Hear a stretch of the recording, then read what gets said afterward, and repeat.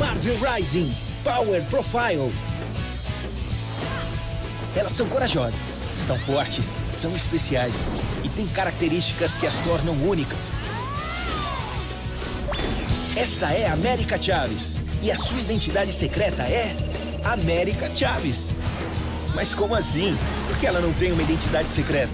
O motivo é bem simples. A América não tem medo de ser quem é. Que fofo, né? Exatamente o que eu pensei. Ela trabalha em uma oficina mecânica e dirige uma moto incrível.